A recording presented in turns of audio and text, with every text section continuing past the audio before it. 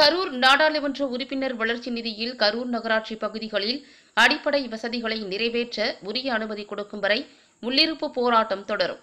கரூர் நாடாளுமன்ற உறுப்பினர் ஜோதிமணி கரூரில் பேட்டி.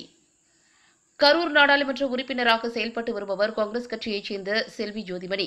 இவரது தொகுதி மேம்பாட்டு நிதியிலிருந்து கரூர் நகராட்சிக்குட்பட்ட பகுதிகளில் மேற்கொள்ள வேண்டிய அடிப்படை வசதி வளர்ச்சி திட்டங்களுக்கு நிதி ஒதுக்கி கொடுத்தும் கூட கரூர் நகராட்சி நிர்வாகம் அதனை பயன்படுத்தாமலும் திட்டங்களை செயல்படுத்தாமலும் இருந்ததால் அது குறித்து நகராட்சி ஆணையர் சுதா அவர்களிடம் ஜோதிமணி இதுகுறித்து பலமுறை கேள்வி எழுப்பியும் பதில் அளிக்கவில்லை. இந்நிலையில் இன்று கரூர் நகராட்சி அலுவலகத்திற்கு வந்த ஜோதிமணி நகராட்சி ஆணையர் சுதாவிடம் நேரில் விளக்கம் கேட்டார். அப்போது நகராட்சி ஆணையர் குடிநீர் வழங்கல் துறை சம்பந்தமான ஆன்லைன் கூட்டத்தில் காணொலி காட்சியில் இருந்தார். இதனால் பதில் அளிக்காமல் இருந்தார். இதனால் தனக்கு பதிலளிக்கும் வரை உள்ளிருப்பு போராட்டத்தில் ஈடுபடுவதாக கூறி அலுவலகத்திற்குள்ளேயே சமூக இடைவெளி விட்டு அமர்ந்து உள்ளிருப்பு போராட்டத்தில் ஈடுபட்டார்.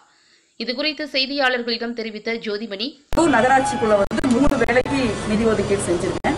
ஒன்று வந்து கரூர் ரயில் நிலையத்துல பேருந்து நிறுத்த வேணும்னு ரொம்ப நீண்ட கால கோரிக்கையா இருக்கு.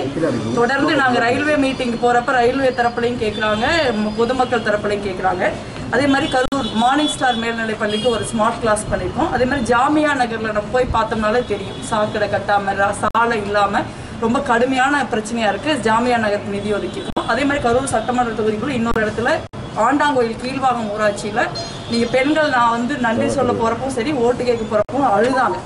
கழிப்பிட வசதி வேணும். அங்கேயும் நாங்கள் கழிப்பிட வசதி கொடுத்தோம் கரூர் நகராட்சியை பொறுத்த வரைக்கும் நாங்கள் கிட்டத்தட்ட மார்ச் மாசமே இதுக்கான ஃபண்டு ஒதுக்கி கொடுத்தாச்சு. அதுக்கப்புறம் வந்து நான் கிருமி நாசினி இயந்திரம் வேணும்னு கரூர் நகராட்சி கொடுத்த அது வாங்கியிருக்காங்க. அதுக்கப்புறம் நீங்க பாத்தீங்கன்னா எங்க கரு பயணிகள் கூட அஞ்சு லட்ச ரூபா நாங்க நிதி ஒதுக்கியிருக்கோம். அந்த நிதி ஒதுக்கீடு பத்துல அப்படின்னா அஞ்சு லட்சமா ஆறு லட்சமா இல்ல நகராட்சி கமிஷன் ஏதாவது ஐம்பது லட்சத்துல பெருசா கட்ட கட்ட திட்டமிட்டு பெருசா வேற ஏதாவது பண்ண திட்டமிட்டு இருக்காங்களான்னு எங்களுக்கு சொன்னாதான் தெரியும். அதே மாதிரி ஜாமியா நகர் சாலையை வந்து நான் ஒன்பதே கால் லட்ச ரூபாய் நிதி ஒதுக்கியிருக்கேன். அந்த ஜாமியா நகர் சாலைக்கு வந்து இது வந்து ஆயிரத்தி தொள்ளாயிரத்தி அறுபத்தி ரெண்டுக்கு போயிட்டாங்க. அந்த அதில் ஆயிரத்தி தொள்ளாயிரத்தி அறுபத்தி ரெண்டுல அறுபத்தி மூணுல அப்படி இருக்குது.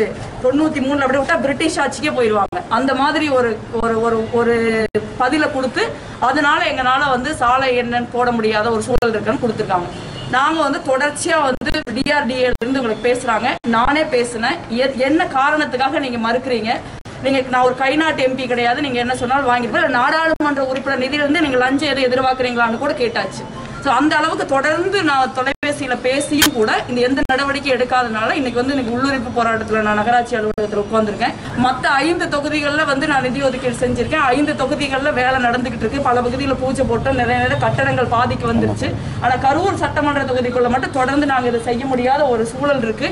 தொடர்ந்து அமைச்சர் போக்குவரத்துறை அமைச்சர் விஜயபாஸ்கருடைய அழுத்தம் இதில் இருக்கு. நான் சந்தேகப்படுறேன். ஏன்னா நீங்க அவருடைய தம்பி பஞ்சாயத்து தலைவரா இருக்கிற பஞ்சாயத்துல கழிப்பிட வசதி கேட்குறாங்க பெண்கள். ஒரு நாடாளுமன்ற உறுப்பினரா இருந்து ஒரு பெண் நாடாளுமன்ற உறுப்பினரா இருந்து பெண்களுக்கு கழிப்பிட வசதி செய்யறதுக்கு நிதி ஒதுக்கி அதை செய்ய முடியாத ஒரு குரூரமான சூழல் இருக்கு. அந்த இடத்துல வந்து அது வாரி அது நீர்வாரி புறம்போக்குன்னு கொடுத்துருக்காங்க. ஆனா அங்கதான் பழைய நாடாளுமன்ற உறுப்பினர் கட்டுன பழைய கழிப்பிடம் இருக்கு. அது பயன் இல்லாம இருக்கு. இந்த மாதிரி தொடர்ந்து மக்கள் விரோத போக்கில் அமைச்சரும் அமைச்சருக்கு உடனே கரூர் நகராட்சி ஆணையர் மாதிரி மிகவும் மக்களை மதிக்காத இந்த ம- இந்த மாதிரி ஒரு ஆணவ போக்கோடு செயல்படுகிற அதிகாரிகளும் இங்கே இருக்காங்க. இதற்கெல்லாம் ஒரு முடிவு கட்டணும். மக்களுடைய பணம் மக்களுடைய வரி பணம் மக்களுக்காக ஒதுக்கப்பட்ட பணம் மக்களுக்கு சேரணும்.